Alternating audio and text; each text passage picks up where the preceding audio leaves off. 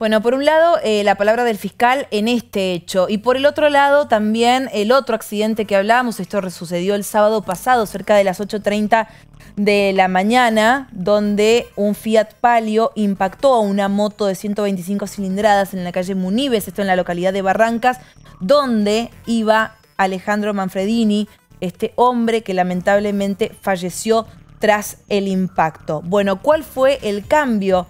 De carátula, lo decíamos, el fiscal agravó la calificación contra el joven que manejaba alcoholizado y quedará preso. Pero lo escuchamos al fiscal Fernando Giunta sobre este hecho.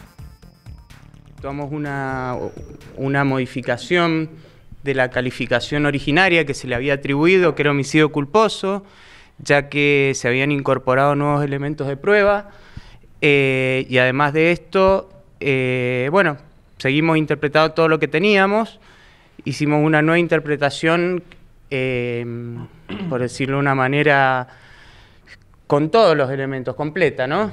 No solamente abarcando determinados aspectos y bueno, decidimos finalmente con el señor fiscal jefe de la unidad fiscal, con el doctor Darío Tagua, modificarle la calificación por la de homicidio simple con dolo eventual al autor del hecho, que es el señor Emanuel Estocco, imputarlo y ordenar su detención. Tenemos un, examen toxicológico donde el señor mm, Estoco conducía con un nivel de alcohol de 1,49, eh, es decir, casi el triple de lo permitido por la ley. Además tenemos un adelanto de científica que nos acredita que el auto del señor Estoco se cambió de carril al momento del hecho, es decir, invadió el carril por el cual se conducía en moto el ciudadano Manfredini. Eh, y bueno, además de esto tenemos declaraciones muy claras en las cuales surge que, que el señor Estocco abandonó el lugar al momento del hecho.